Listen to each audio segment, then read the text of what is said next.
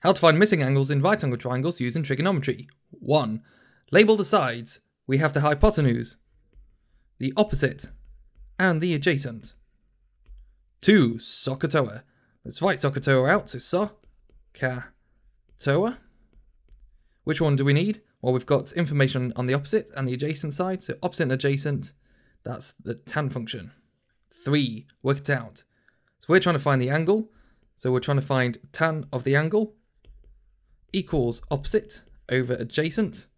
Substituting the values. So tan of the angle equals opposite, which is 29, over the adjacent, which is 17.